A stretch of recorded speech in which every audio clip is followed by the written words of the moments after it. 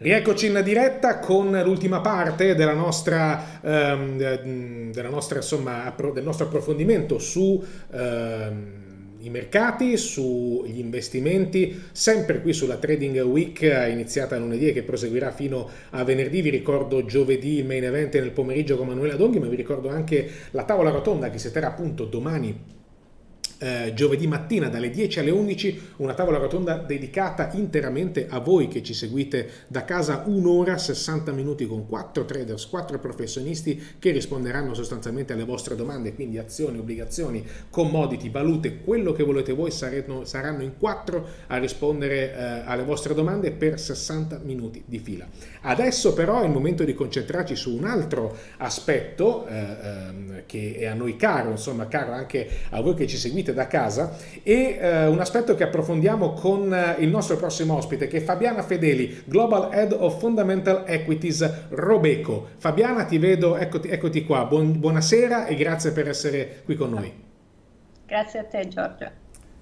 E allora ehm, ripartiamo da um, un, un, approfondimento che appunto hai firmato eh, qualche giorno fa, che riguarda tre temi di investimento per il secondo semestre, eh, partendo da un presupposto, e cioè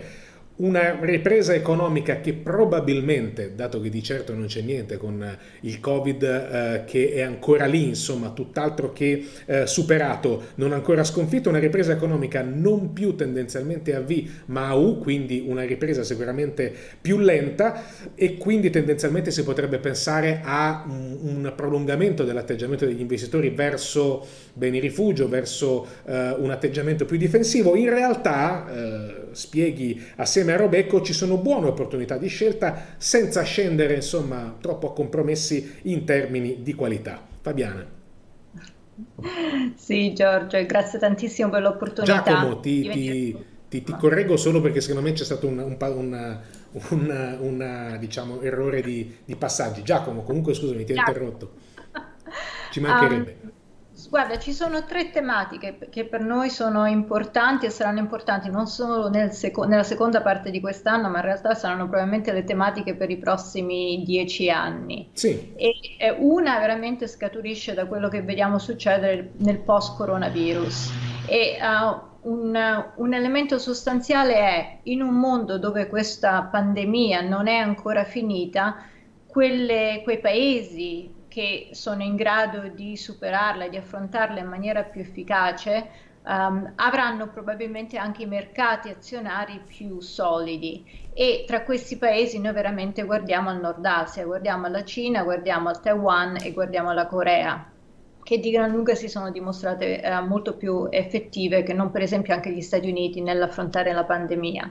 Um, L'altro elemento che uh, al momento è chiarissimo è che c'è una grossa disparità tra il quality growth e il value e eh, a un certo punto dovremmo avere questo, questo, cambiamento di tendenza nel mercato, ma quello che noi abbiamo avuto fino adesso è stato veramente un bear market rally, c'è stato un rally che è stato veramente più un rally difensivo di investitori che hanno guardato quelle società che erano più difensive in un ambiente di eh, pandemia o che magari eh, beneficiavano uh, negli utili da quello che stava succedendo nelle nostre economie, pensiamo a tutti i tech giants e certo. si sono praticamente nascosti in queste, in queste azioni. Da a un certo punto veramente le sorprese positive finiranno, lo stiamo già vedendo con gli earnings nel, negli Stati Uniti e ci dovrà essere necessariamente una una rotazione nei cyclicals. Um, adesso il timing è sempre difficile da capire, però siamo probabilmente all'inizio di, di, quella rotazione. Infatti quello che stiamo facendo noi al momento nei nostri fondi è una, una rotazione molto graduale nei cyclicals, ma quelli di più alta qualità dove pensiamo che anche se i fondamentali siano stati impattati dal coronavirus, in realtà rimarranno solidi e riusciranno a cavalcare quella, l'ultimo stage della U in maniera, in maniera um, con successo. Da, queste, uh, da, questi due punti veramente scaturiscono le tematiche che per noi poi ci porteranno nel, per il resto del, non solo dell'anno ma nei prossimi dieci anni. La prima è che uh, la Cina fino adesso è stata considerata una allocazione periferica nei portafogli degli degli investitori dovrà necessariamente diventare un'allocazione core. Hai una, un paese che è la seconda, come dici tu, la seconda economia più grande del mondo, un, un paese che si sta aprendo agli investitori stranieri con uh, una, una, migliore, una migliore agevolazione del, del, trading e che allo stesso momento è sottopesato non solo dagli investitori ma anche dagli indici e uh, a noi in particolare la Cina e soprattutto la Cina mainland, quindi gli A-shares, uh, piacciono particolarmente perché sono anche, um, dei, è anche un mercato che rappresenta veramente il domestico cinese molto più che non il mercato di Hong Kong. Si dovrà, la... scusami Fabia se ti interrompo, si dovrà in qualche modo superare, forse l'hai anche accennato, quella che, quella che al momento è una sorta di uh, diffidenza nei confronti della, della, Cina anche a livello di uh, garanzie che i numeri che escono da, che insomma produce eh, il paese siano effettivamente eh, reali, insomma abbiamo tutti sotto gli occhi i titoli che eh, pubblicano i giornali, insomma i media americani quando il PIL magari ha avuto una, un, un, enorme incremento, non, non viene scritto uh, PIL cinese in ripresa, ma viene scritto dalla Cina fanno sapere che il PIL è, è, in, è in, ripresa. Questa diffidenza si può, si può superare da parte degli investitori? Ma guarda, se, secondo me si sta già superando. Si sta già superando. Abbiamo, non dobbiamo soltanto guardare, se vuoi, agli headline numbers, possiamo guardare per esempio alla produzione di elettricità, possiamo guardare al, al, um, al, al, tipo di attività che vediamo in Cina. Voglio dire, ci sono moltissimi modi al momento in termini di dati che possiamo, che possiamo accedere, che ci fanno capire come si sta muovendo l'economia cinese, che tra l'altro non si sta muovendo in una, in una maniera particolarmente... Ehm, fantastica, però da un punto di, di, vista relativo paragonato ad altri paesi al mondo in realtà si sta riprendendo molto più velocemente. Um, e penso che in realtà, e tu hai, sai, eh, veramente sei andato su un punto chiave, è stata la diffidenza dei, degli investitori sulla trasparenza dei dati cinesi, dell'economia cinese, che un po' ha fatto scaturire questa, così, questo sottopeso per la Cina ma penso che ormai stiamo superando, stiamo superando quel, così, quell'impatto. L'altro impatto, tra l'altro, che stiamo superando è il,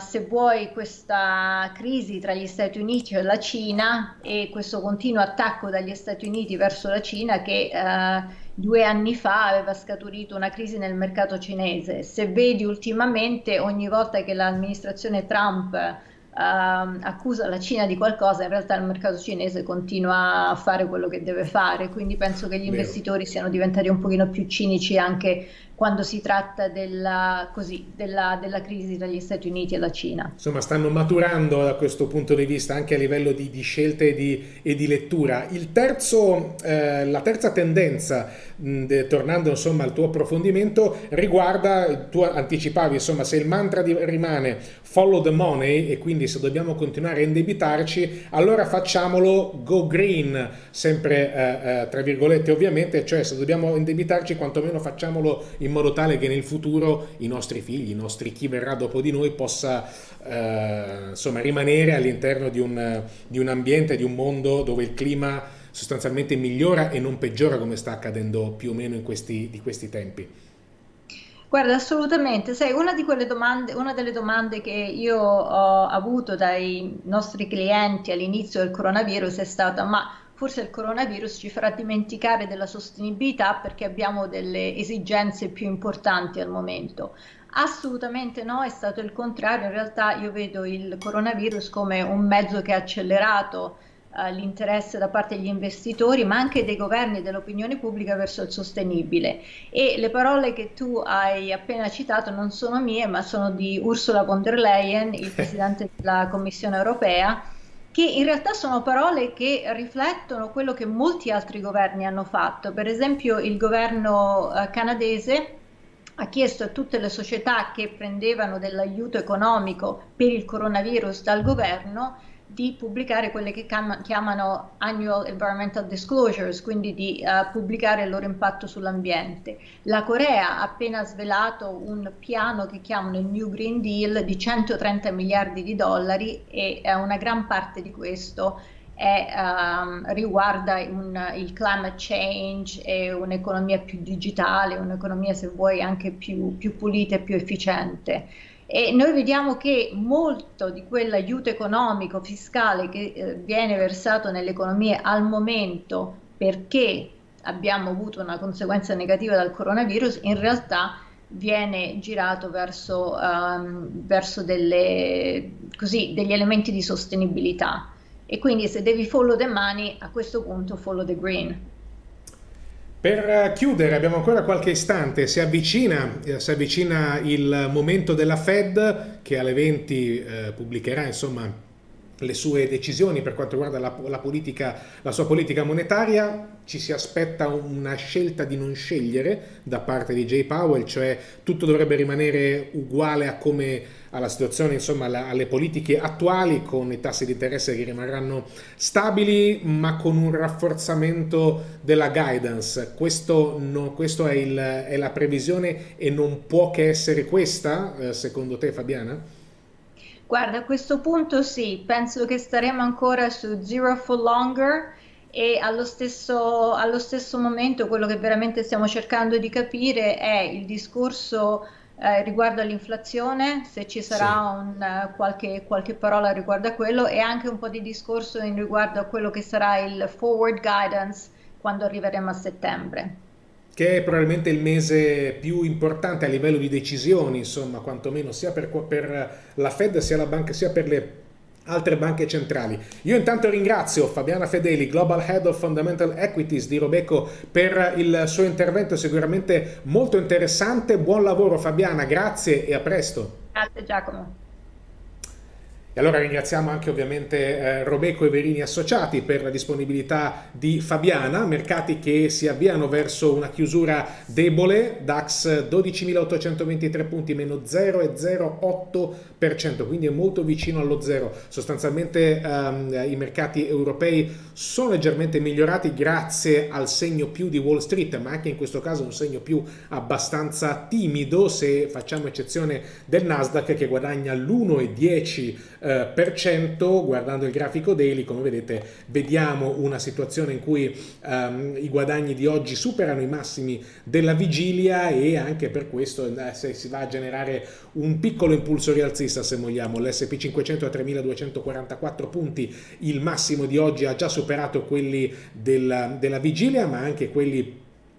di lunedì e di venerdì scorso, il Dow Jones più 0,25 a 26.444 punti, eh, altri movimenti prima di chiudere e di darvi appuntamento alle 19.30 con lo speciale Fed assieme a Manuela Donghi, ci sarò anch'io assieme a Jean Ergas, ehm, Angelo Ciavarella e Peter Cardillo, ovviamente una diretta che vi terrà compagnia fino alle 21. Dicevamo il VIX 24,46 meno 3,85%, abbiamo raggiunto i minimi del 23 luglio scorso, ma anche quello del 21 luglio, insomma c'è una resistenza piuttosto evidente a livello grafico sui 23,5 per il VIX, questo su grafico, ehm, ehm, sul grafico daily è una resistenza che sostanzialmente tiene da febbraio 2000 e scusate, supporti, non resistenza. Siamo a fine diretta e eh, anche per me, dicevo, supporti importanti eh, sui 20